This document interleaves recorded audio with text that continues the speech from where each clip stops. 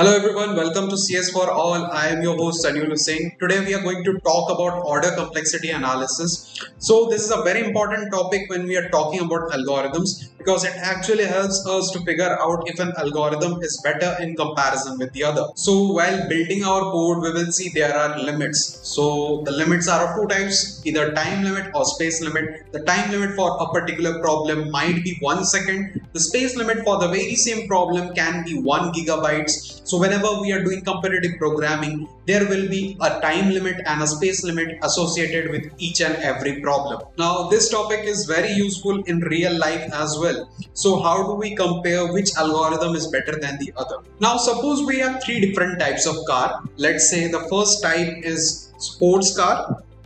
The second type is let's say it's the family car and let's say the third type is the cab right? Now how we will compare these three types of car? We will compare them obviously based on our requirements. So we know a sports car actually has a very high speed but it also needs a high budget right? But a family car it might be the perfect fit for the use case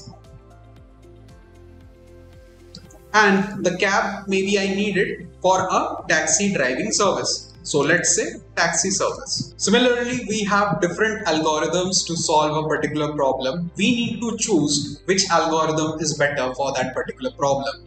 So how are we comparing these cars? We are comparing them based on the price. So what will be the price for the algorithms? Similarly, running an algorithm comes with some extra cost. The cost can be in the form of space, that is how much extra space I am using to run the particular algorithm. Now some algorithms may not take some extra space but some algorithms might take some extra space but at the very same moment they can speed up your time. So we will compare which algorithm is better in terms of space and time. Now for a majority of the problems time is our first priority that is we need to reduce the time taken by the algorithm to run and then comes our second priority that is space. But there will be some problems where space is the priority and time may not be the priority. Now depending on the problem statement given to us we will try to find the trade-off between space and time. Now you might ask how are we going to compare these algorithms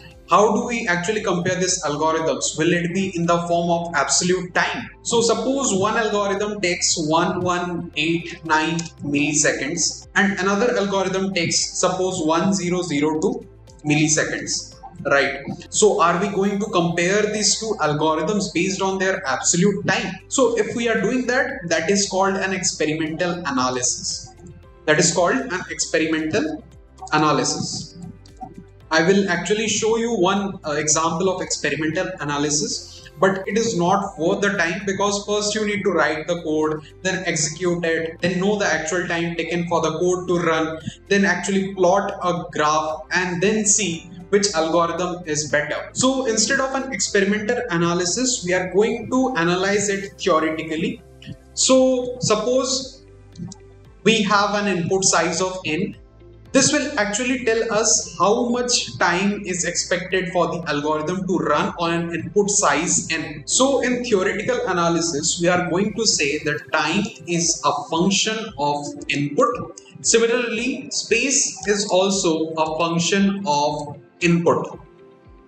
So now the functions can be quadratic functions, it can be linear functions or may be constant functions. So my quadratic function is proportional to n square.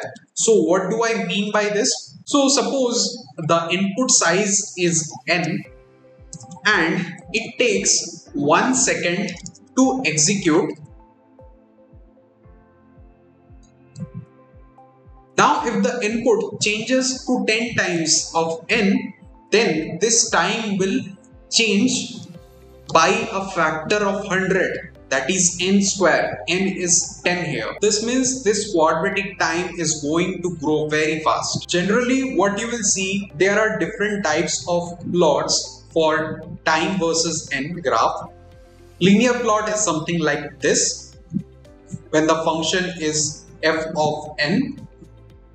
The quadratic plot is something like this when the function is f of n square. So what do we actually denote these functions as?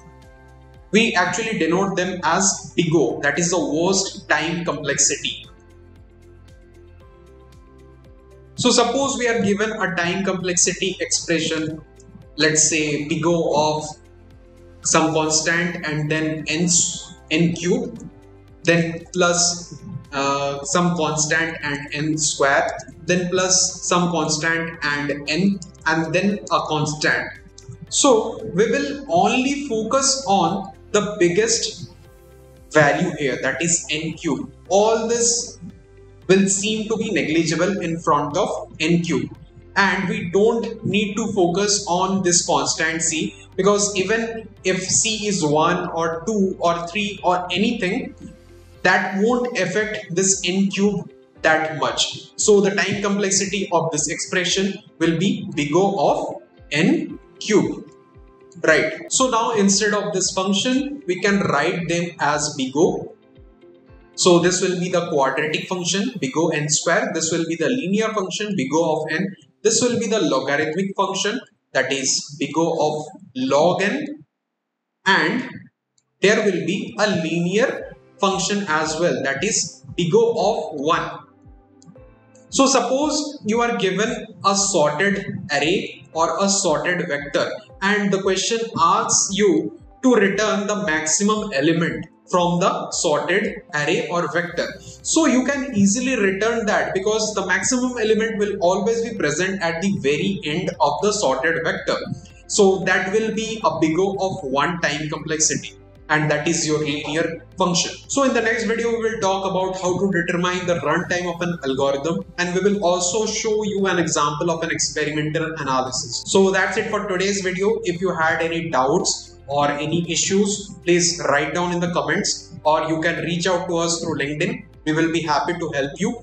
And if you really feel that this video helped you in any format, please consider liking, subscribing and sharing it with your friends. So see you guys in the next video. Bye. Audio Jungle.